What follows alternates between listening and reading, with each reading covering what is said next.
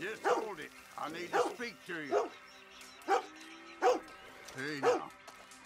I don't need you getting in the way of work around here. I need you to get gone. I mean it. Vamos!